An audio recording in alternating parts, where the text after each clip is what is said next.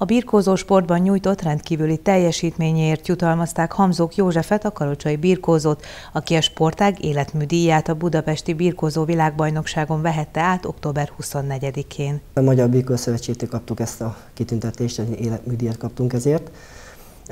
Mindenki a súlycsoportjába és korosztályhoz képes kapta ezt a díjazást, és a, természetesen az eredmények után. Európa bajnokok, világbajnokok kapták ezt a külön díjat, ebben részesítettek minket, és hát nekünk az igazság, hogy ez egy hatalmas élmény, pont a világbajnoki ceremónia időszak alatt kaptuk meg ezt a kitüntetést.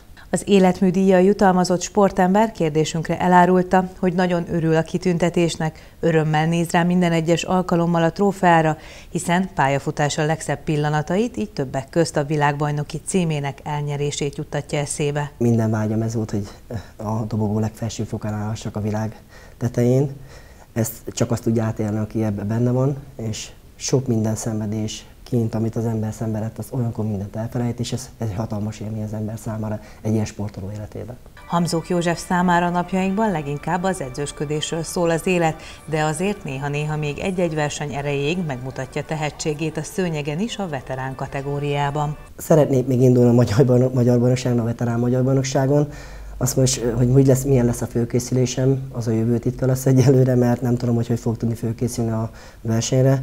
Hát bízom benne, hogy egy világbajnokságon még el tudok indulni, egy veterán világbajnokságon, ahol bízom abban is, hogy kisebb súly lesz, mert ugye már elég magasra tették a súlycsoport mércét, és ez nekem nem kedves sajnos, de bízom benne, hogy lesznek változások itt a világbajnokság után, és kisebb lesz a súlycsoport, és hogyha kisebb lesz, akkor természetesen mindenféleképpen el szeretnék indulni a veterán világbajnokságon.